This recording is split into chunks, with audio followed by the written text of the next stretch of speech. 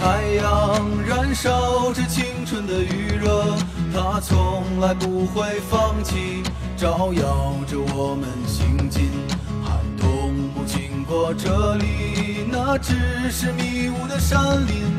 走完苍老的石桥感到潮湿的味道翻过了青山你说你看头顶斗笠的人们。拂过椰树，吹散一路的风尘。这里就像与闹市隔绝的又一个世界，让我们疲倦的身体在这里长久的停歇。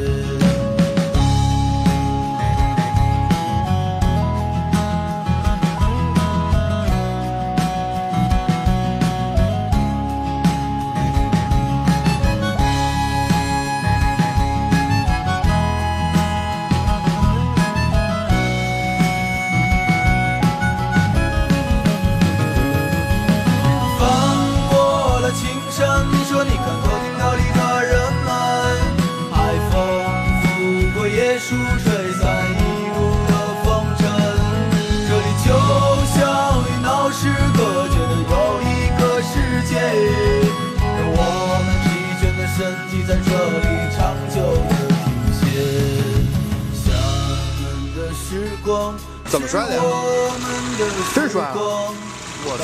如果没有后期的话，自己摸太狠了，这这都坏了。